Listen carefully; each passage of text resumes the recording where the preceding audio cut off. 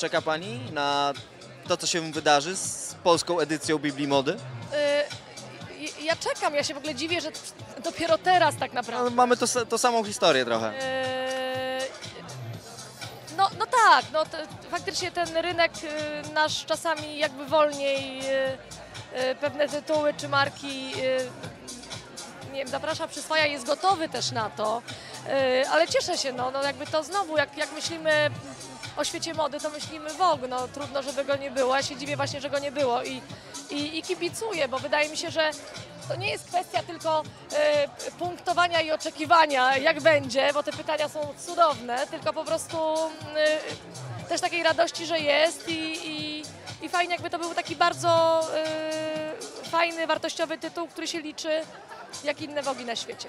Wybiegając trochę w przyszłość, e, to może zmienić troszkę oblicze e, naszego pojęcia, pojęcia Polek, pojęcia Polaków na temat, e, na temat tego przemysłu, którym jest moda?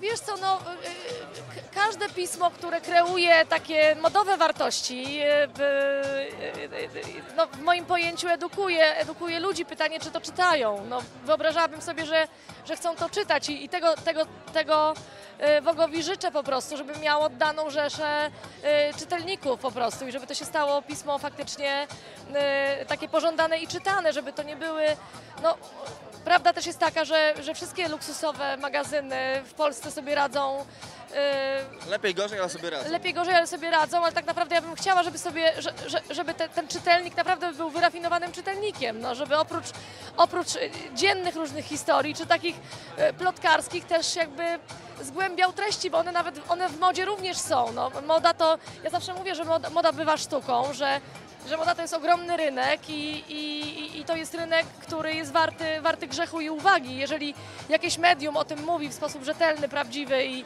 i, i, i, i daje nam te informacje, no to super, cieszę się bardzo.